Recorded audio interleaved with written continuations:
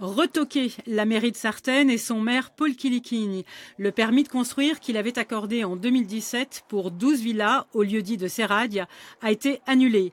Retoquer aussi la sous-préfecture et la sous-préfète qui avaient à l'époque laissé passer le projet des collines de Mourtely. Et pourtant, ce qui frappe à la lecture du jugement, c'est l'évidence de l'illégalité du dossier sous la plume des juges administratifs irrespect des règles basiques d'extension, d'urbanisation ou de définition d'une agglomération.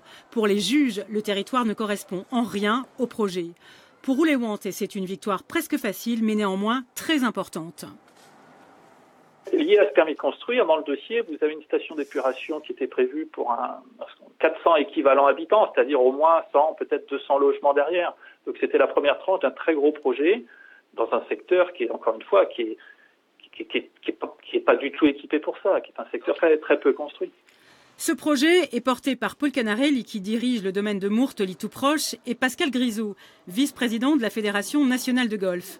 Ils n'ont pas voulu nous répondre sur ce permis perdu. Mais un de perdu, un de retrouvé. Un peu plus loin sur la commune de Bonifacio, ces deux hommes sont également associés dans la reprise du golfe de Spérone et de la construction d'un hôtel de 70 chambres. On vient d'apprendre que ce permis-là leur a été accordé hier soir. Thank you.